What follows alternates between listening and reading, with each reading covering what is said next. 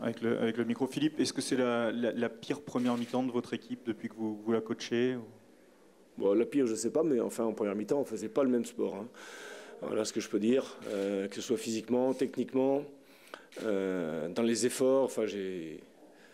Voilà, c'était, pas le même sport. Hein. Il y avait des Nîmois qui jouaient au football, un football assez. Euh, percutant, je dirais. Mais nous, euh, on a fait des trucs qu'on fait jamais. Euh, s'aligner ligne médiane. Euh, je ne sais pas si mes attaquants ont fait deux passes d'affilée en première mi-temps les uns avec les autres. Donc, en plus des situations litigieuses, on peut, en prendre 4 ou 5 sur la mi-temps. Et notre deuxième mi-temps, par contre, a été quand même plus, plus réaliste, je dirais. on commence à plonger un petit peu, on a fait un petit peu mal. On a même la balle de 2-1 avec Gislain Jabert, mais c'est quasiment notre seule grosse occasion, donc on n'ira pas non plus trop pleurer qu'on l'a pas mise, parce que s'il faut faire du 100%, ça va être compliqué. Mais au moins la deuxième mi-temps m'a quand même un petit peu rassuré. Quoi. La, première mi-temps, par contre, elle était vraiment très inquiétante, où, euh, il y, avait beaucoup de qualité dans le jeu nîmois, mais... Euh, c'était euh, contre Auxerre. Auxerre est marqué pratiquement à chaque occasion. Là, si euh, Nîmes avait marqué à chaque occasion, il y en avait peut-être 6, 7 euh, à la mi-temps. Oui, on était complètement on était dépassé dans tous les compartiments. Des alignements de mauvais après Nîmes, de temps en temps, où ce n'était pas des actions très très construites parfois, hein. c'était des ballons par au-dessus, sur lesquels d'habitude on n'est pas trop en danger. Bon, après. C'était le premier match de Miodrag aussi. Il y a certainement des, problèmes à, régler, notamment dans l'axe. Mais bon, après, je veux dire, je vois pas qui je peux sortir de cette première mi-temps euh, fantomatique. Quoi. Et puis bon, ça nous a plié le match, donc c'était. Euh, encore, on s'en sort bien. Hein. Mais je vous dis, on a l'impression de ne pas faire le même sport. Sur la première mi-temps.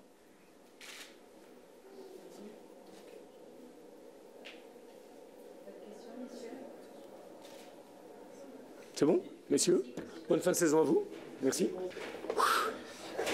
Ah, euh, Victor, une superbe première mi-temps, une belle victoire. Euh, je crois que tu peux être satisfait de, ton effectif, de ton équipe. Je viens de dire à, mes adjoints, moi je les ai félicités parce que ce soir on a fait un, un super match, parce qu'on a fait une très bonne première mi-temps. Et euh, Cyril nous fait un arrêt euh, qui est assez important, puisque bon, je pense que ça peut revenir à 2 à 1, on ne sait jamais ce qui peut se passer. Mais quand on regarde l'ensemble du match, euh, bon, il n'y a pas eu pour nous, disons, d'avoir vraiment une grande peur, sauf que, sauf que, quand on voit en première mi-temps le nombre d'occasions que tu as, les tête-à-tête qu'on a eu avec le gardien, un ou deux joueurs un peu à la limite dans les 18 mètres, et que tu ne mènes que 2 à 0, c'est la pire des choses qui pouvait nous arriver avant, euh, à la fin de cette première mi-temps. Donc on, a un peu mal géré le début, puis après on a repris le dessus, et puis bon, dès qu'on a mis le troisième, je pense que bon, Laval a voulu euh, euh, jouer le coup vraiment à, fond, c'est-à-dire qu'il a pratiquement sorti beaucoup de joueurs défensifs pour amener offensivement un peu plus, puis essayer de marquer peut-être un but. Mais bon, je pense que ça a été intéressant pour nous. On a, on a su être solidaires et puis on a fait ce qu'il fallait pour ne pas prendre de but déjà. Et puis, euh, bon, ben, confirmer cette victoire, comme je leur ai dit avant le match. C'est même pas un accident qui n'est arrivé à Caen. Hein. C'est, je dirais, un manque de chance. Ça fait partie du jeu, c'est comme ça. Mais on voit les grandes équipes quand elles réagissent tout de suite. Et je pense que ce soir, ils ont été euh, dans ce que j'ai demandé, c'est-à-dire euh, ben, du mouvement, du ballon, de la profondeur. Euh, tout le monde a participé et je trouve que c'était pour.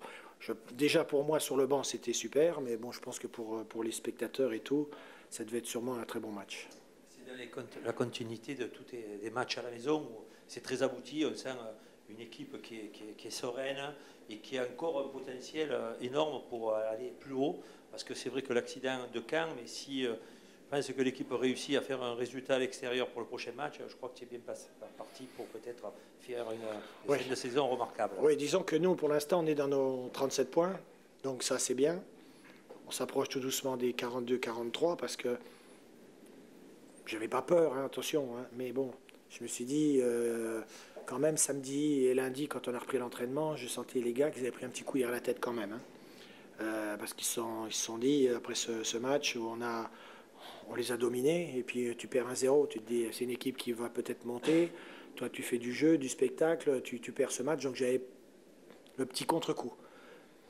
Mais bon, ils ont su, ils ont su euh, réagir et faire. Bon, alors c'est sûr que maintenant, euh, ça passera, et comme je l'ai dit, on se donnera rendez-vous fin février, début mars, après le match de Guingamp, pour savoir un peu ce que l'on pourra jouer. C'est-à-dire que bon, si on continuera à regarder en haut, ou si on se stabilisera entre la sixième et la huitième place.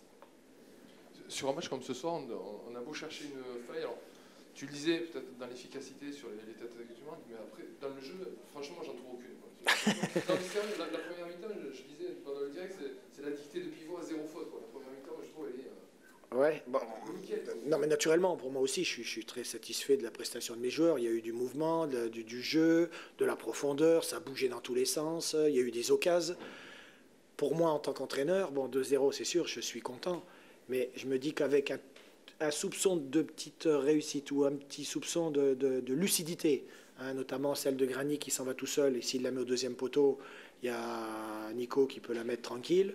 Bon, il y a un geste technique extraordinaire de Nourri, et le gardien il fait un arrêt euh, sur le reculoir, il fait un arrêt extraordinaire. Bon, c'est vrai qu'on aurait pu être encore plus serein, je dirais, en début de deuxième mi-temps. Bon, maintenant... Euh, on va peut-être garder sur la semelle pour le prochain match. Tu as aussi ce sentiment que tout le monde fait l'effort. Euh, c'est Riyad qui disait ça, tout le monde fait l'effort pour tout le monde. Il n'y a pas que dans le côté offensif aussi, les mecs qui descendent de défendre quand il faut. Enfin, a, voilà, tu sens qu'il y a une équipe qui vit. Quoi, qui oui, et puis bon, euh, comme je dis toujours, les premiers, les premiers qui, sont concernés, c'est quand même les attaquants.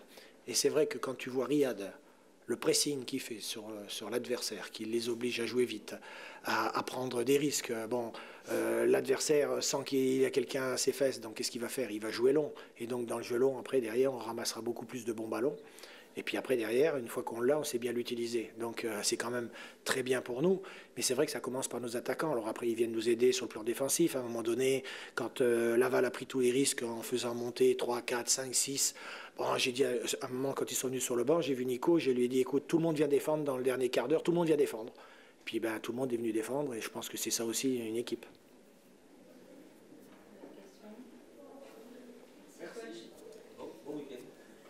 D'accord. Radio France Mayenne n'est pas là. Thierry.